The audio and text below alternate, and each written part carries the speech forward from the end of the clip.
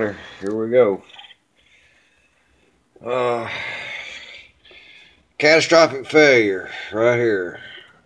Same thing on the back. This tube that comes down right here, and the tube itself. The tube just had tear in it, and I just went ahead. I couldn't get it off. I just went and tore it off. I'll show it over there, but the uh, damn it's where the water pump uh, hose fits. It's almost like a dead gum thermostat housing. Let's see where it's at here. Uh, right down there. Right there.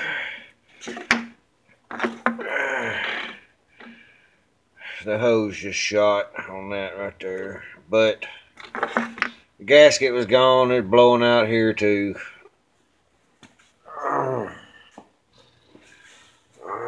So, uh, hmm.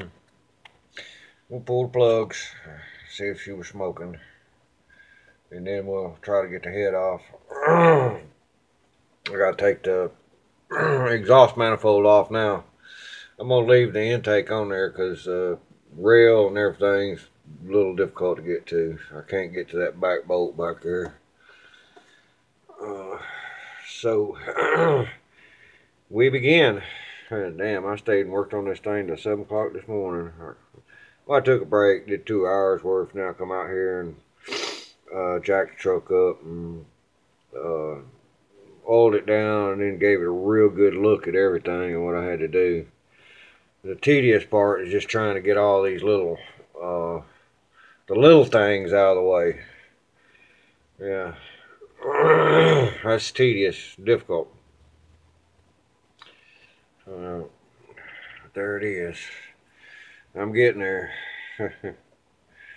I'm actually uh, two and a half hours on the main part of the teardown to get to where it's at right now, and then about uh, about an hour just unhooking all the little shit over here. yeah. Well, there you go. Peace. 99 New Shop Bot and all that other good shit. Bye.